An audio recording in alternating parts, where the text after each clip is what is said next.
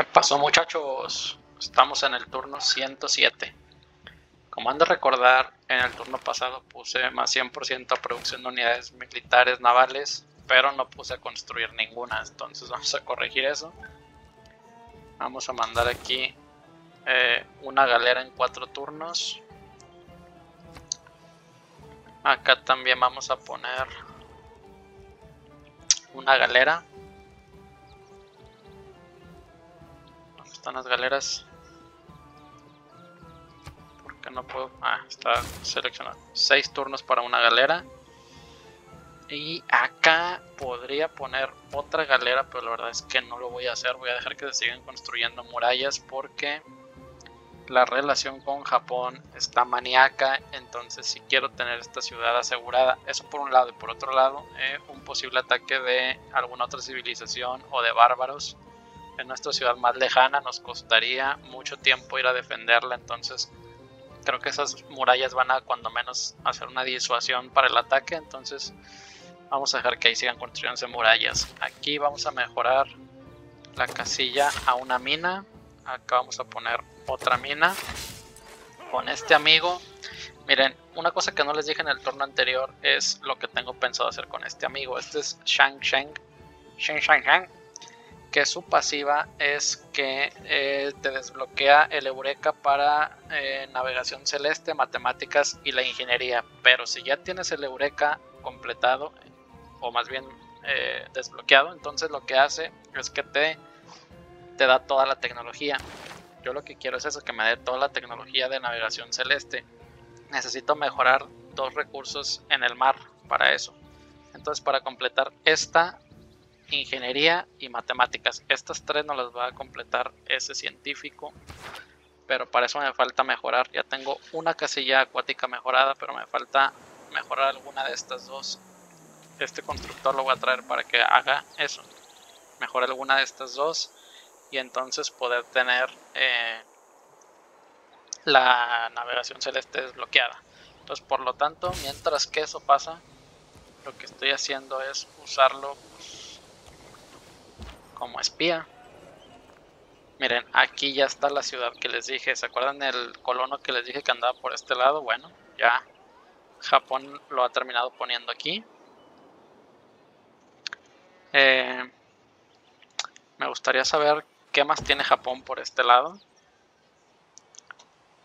Los mayas también les comenté que hicimos un trato con ellos y bueno, pues tenemos una buena relación con ellos. Ahora nos han dicho que si queremos ser eh, amigos, entonces vamos a ser amigos por el momento. La verdad es que no sé dónde están los mayas. Sé que están por este lado porque recuerdo haber visto una galera maya por aquí, pero pues eso fue hace como unos 6 turnos o 7 y ya ha desaparecido. Entonces supongo que están por este lado. Em, aquí quisiera poner un distrito comercial aquí, pero eh, miren, cuando uno juega multijugador hay que hacer, hay que pensar lo peor, ¿no?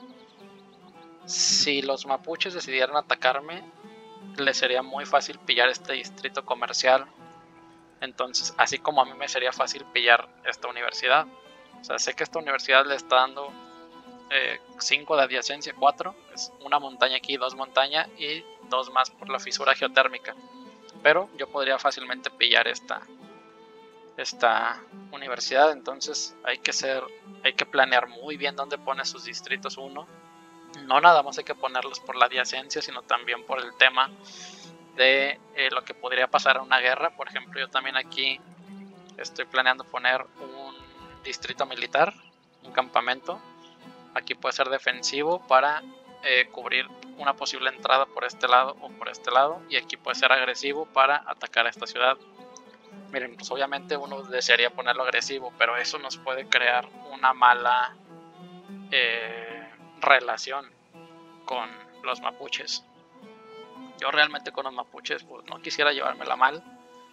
Como les comenté, eh, yo quise hacer una alianza con ellos, pero no quisieron. Entonces, lo que voy a hacer por el momento aquí posiblemente sea hacer un campamento. O más bien, eh, mejor la librería primero. La librería nos va a dar más ciencia y después posiblemente un campamento. Un campamento nos va a venir bien para el tema aquí de eh, construir eh, una armory.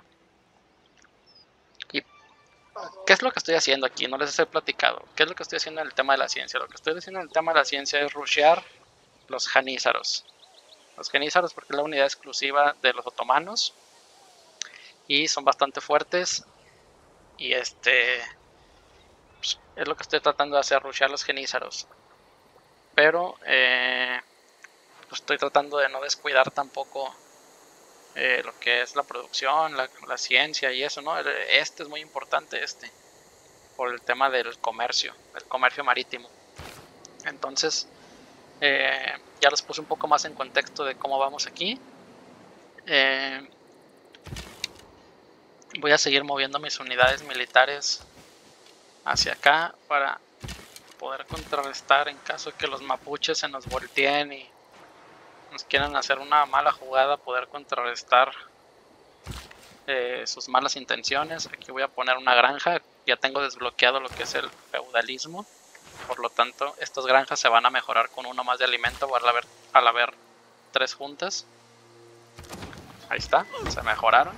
Es un, buen buenas casillas de granja, además nos da más este más población, capacidad de población este guerrero voy a traerlo para acá para cuidar cuidar mis fronteras. Em, este arquero también lo voy a traer para cuidar mis fronteras. Y este lo vamos a dejar aquí para cuidar la ciudad. E, en un turno más vamos a tener un mercado.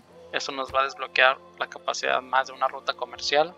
Estaba pensando comprar el comerciante con oro vale 270 no estamos lejos de conseguirlo entonces posiblemente me espere a eh, comprar el comerciante con oro. Sirve que en esos turnos también logro, logro mejorar estas casillas, alguna de estas dos casillas y entonces ya tener desbloqueado lo que es eh, la navegación celeste y poder hacer comercios eh, bien sea con Rapanui o bien sea con la baleta el que nos dé un mejor trato comercial en este caso ya sería un comercio marítimo porque pudiera el comerciante venir por acá hasta la baleta. Cuando quieran ustedes ver sus rutas comerciales que tienen disponibles, le pican aquí arriba donde dice rutas comerciales y después en rutas comerciales disponibles y entonces aquí les sale qué es lo que pueden comerciar.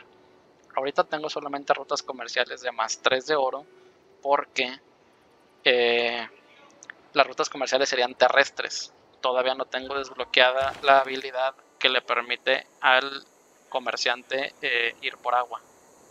Entonces, una vez que lo desbloquee eso, aquí van a salir rutas comerciales de más 12 de oro. Entonces, este, pues eso ya es bastante bueno, ¿no? Entonces, pero para eso faltan como unos 4 o 5 turnos. Falta que esta llegue para acá. Serían 1, 2, 3, 4, sí, como 4 o 5 turnos. Entonces, en esos 4 o 5 turnos eh, vamos a tener también ya la posibilidad de comprar un comerciante. Y pues ya vamos a empezar a mejorar nuestro ingreso de oro, ¿no? Bastante. Eh, este también, este comerciante ya no debe tardar en terminar su ruta comercial. Y también lo vamos a mejorar para que comercie oro con alguna de las ciudades de estado.